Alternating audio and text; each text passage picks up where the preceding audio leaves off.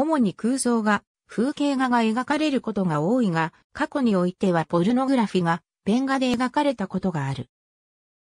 質の低い用紙であっても、印刷の際に明瞭に映し出されるので、雑誌の挿絵などの商業芸術によく用いられる。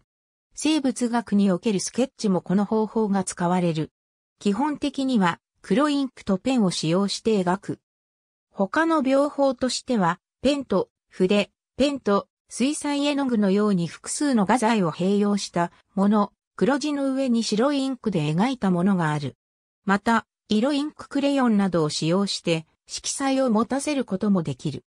以前はペン先が割れた G ペンとか丸ペンスクールペンなどが主流であったが、最近はペン先が金属で筒状になったロットリング製図ペン、またはペン先がプラスチックのミリペンと呼ばれている一定の線の太さが引けるものも多く使われている。